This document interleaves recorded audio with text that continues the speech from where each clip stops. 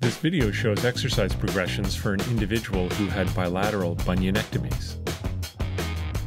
The first level is feet at shoulder width stance. She has to throw, visually track, and catch the ball without losing her balance. Progress to feet in a split stance position. The exercises focus on retraining the necessary proprioceptive strategies to maintain proper body position while the board shifts back and forth, side to side, and up and down. The final and most challenging progression is single leg stance. To prepare for higher level activities, you have to perform higher level exercises.